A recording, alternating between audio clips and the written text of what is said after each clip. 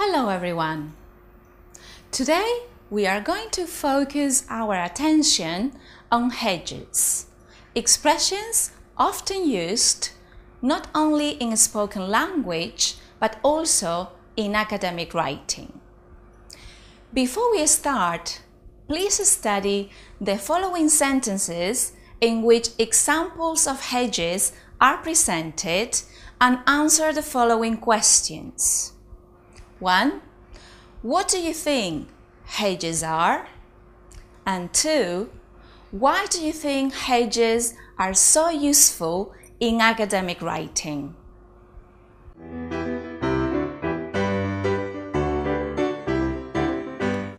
What are hedges?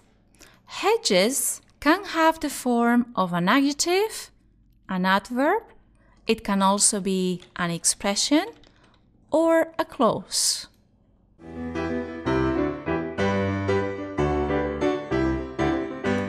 When can we use hedges? We can use hedges to tone down our statements, to convey vagueness, and to make sentences more acceptable to the listener. We can also use hedges to convey communication and the speaker's or writer's intention. Hedges can happen in spoken and written language either intentionally or unintentionally.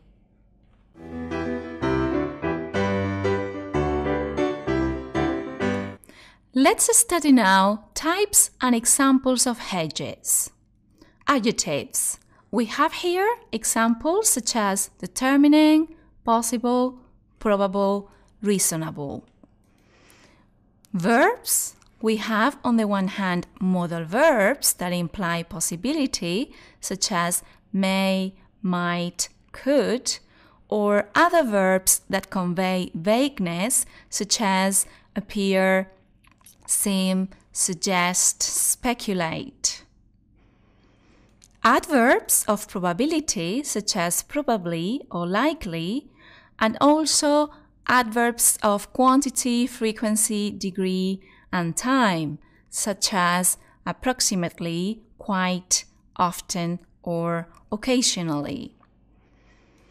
We can also have expressions that indicate a personal viewpoint, such as I believe, in my view, to our knowledge, to my belief, etc. And the last type of hedge is the compound hedge formed by different clauses, such as it may suggest that, or it seems reasonable, it is thought that, etc.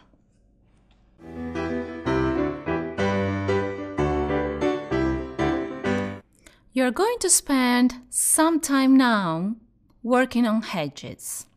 Please read the following extract and identify possible hedges.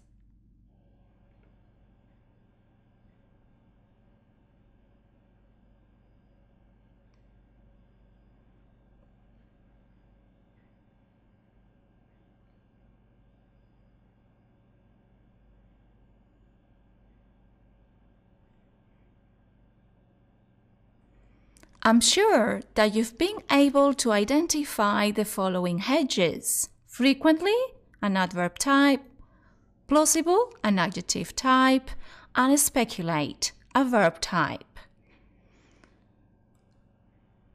Please study now the second extract and please identify hedges again.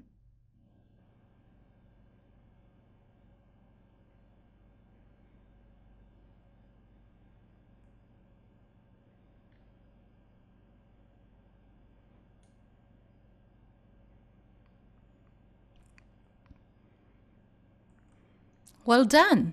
You're totally right. The hedges here are suggest, support, may, may again, and eventually.